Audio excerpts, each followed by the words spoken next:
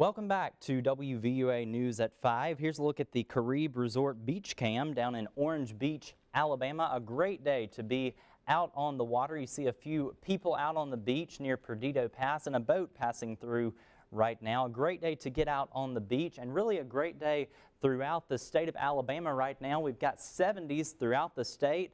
Uh, here in Tuscaloosa, we're at 71 degrees. Look at Dothan, they're at 76 right now. Pensacola is at 79 and Mobile is at 74. We've had a sunny day throughout the day here in Tuscaloosa. A few low clouds this morning. Those have since moved off to the southeast and it's been a sunny day. Right now, 71 degrees here in Tuscaloosa. Winds are out of the north northeast at 10. And look at the humidity and dew point. They remain low, so it's going to be a great evening to get out and enjoy the evening. 67 degrees by 7 o'clock and temperatures fall off pretty fast since we don't have any cloud cover to insulate.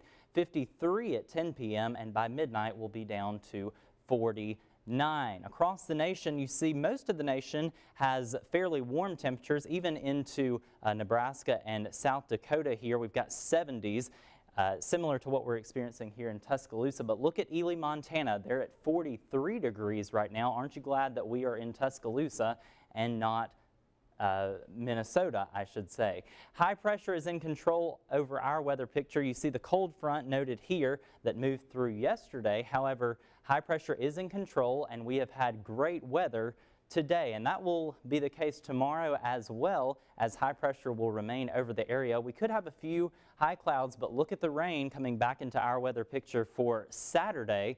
Uh, we have a 60% chance of rain on Saturday, and that continues into Sunday. You see the front kind of stalling out here, and even on Monday morning, you'll need to have your uh, rain gear in place, umbrellas, rain jackets for the morning commute. But no rain tonight. We will have uh, lows around 43 degrees with clear skies. A nice night to get out and do something this evening if you can. For tomorrow, the high will be around 78. Sunny skies, a very nice day. And here's a look at your seven-day planning forecast.